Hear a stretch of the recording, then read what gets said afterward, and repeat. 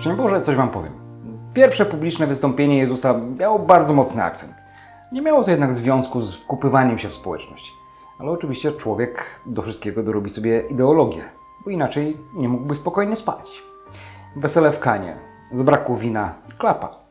Na starcie dla młodych to totalna porażka, wstyd przed całą wioską, przed rodziną. Wesele przeszłoby do historii jako największy blamaż. A dzięki obecności Jezusa i jego matki zyskało nowy wymiar. Jak to dobrze, że ktoś trzeźwo myśli, kiedy pojawia się jakaś podbramkowa sytuacja. Jak to mówią, tylko spokój może nas uratować?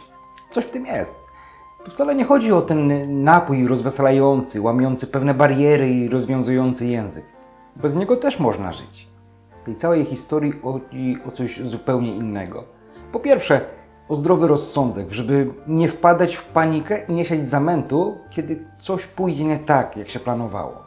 Im więcej paniki, tym gorsze konsekwencje nieprzemyślanych działań. Po drugie, to czujność, y, żeby zawczasu zareagować, zanim problem się wyda. Przy takim działaniu mądry nic nie powie, a głupi pomyśli, że tak właśnie miało być.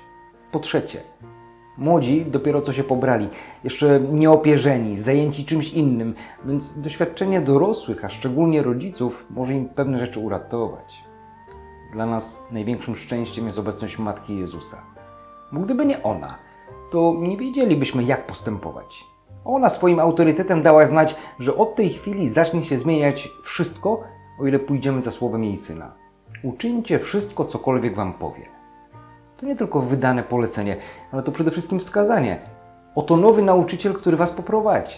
Ja o nim daję świadectwo, że jest godny zaufania i zawierzenia. I choć Jezus wzbrania się, mówiąc, że to jeszcze nie jest ten czas, nie to miejsce i nie te okoliczności, to jednak nie macha ręką, że to nie jego sprawa. Bo w sumie ma rację, gdyż sam człowiek dokonuje wyborów i podejmuje decyzje. Ktoś nawalił, źle wyliczył i wyszło jak wyszło. Tylko jakże wielkim posłuszeństwem musieli się wykazać służących, gdy usłyszeli napełnijcie stągwie wodą? Niemalże ponad ich siły. Przyniesienie z odległej studni kilkuset litrów wody, żeby napełnić naczynia, nie odbywało się w kilka minut jak odkręcenie kranu. Trzeba było się nachodzić i wysilić. Zaczerpnięcie wody, którą przynieśli i zaniesienie jej na stoły wymagało wielkiej odwagi. Wino nie robi się natychmiast, ono potrzebuje czasu, a tego nie było. Narazili się na karę, a mimo wszystko zrobili tak, jak usłyszeli w poleceniu.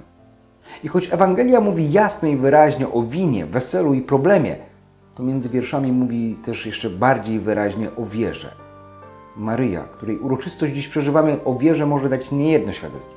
Począwszy od zwiastowania, wszystko w jej życiu wydawało się być niedorzeczne. A jeśli ona jest patronką tak wielu miejsc i kościołów, tylu pątników do niej przybywa w pielgrzymkach na różnych zakątkach świata, więc wiele widziała i jeszcze więcej słyszała. A to wszystko pokornie kieruje do Jezusa, mówiąc mu o naszych problemach, które mogą się skończyć, o ile posłusznie spełnimy jej prośbę. Uczyńcie wszystko, co Jezus Wam powie. Niech Pan Wam błogosławi w imię Ojca i Syna i Ducha Świętego. Amen. Z Panem Bogiem.